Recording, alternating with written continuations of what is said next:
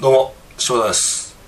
今日は、僕の彼女、ローラに向けた動画なんですけれども、僕が先日、和木麦茶くんに物申した動画の中で、元カノの名前を出してですね、いつも撮影を手伝ってくれてる、ローラに、非常に不快な思いをさせてしまってですね、非常に申し訳なく思っております。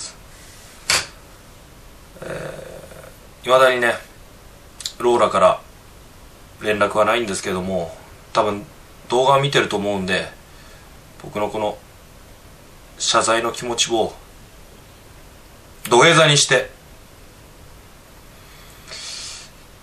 お見せしたいと思います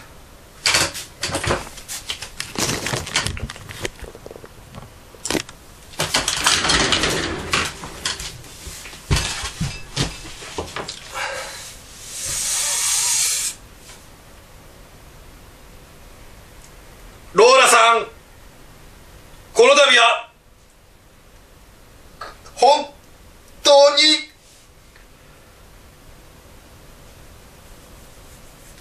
すみません。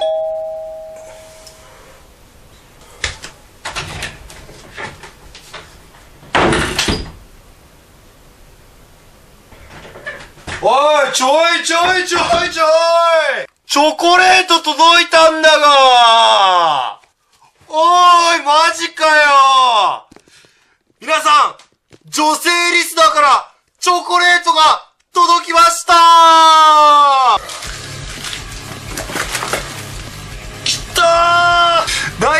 柴田さんへ。えー、うめえ。ジュラシックチョコレート。これあれだ。今日バイリンガール。YouTuber のバイリンガールが紹介したやつだ。スプーンとあとこのあの歯歯医者のでさ歯をこうギンってやるやつとあとこのハケ？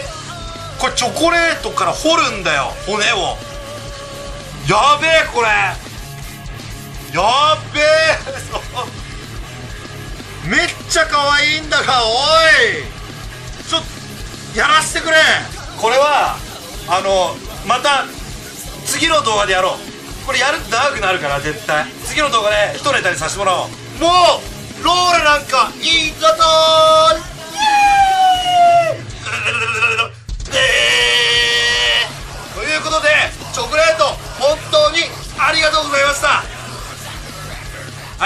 ということでですね、えー、女性リスナーさんからとっても嬉しい、えー、バレンタインデープレゼントをいただいたんですけれども、それとは関係なくですね、えー僕、柴田、えー2月16日に試合に出ます。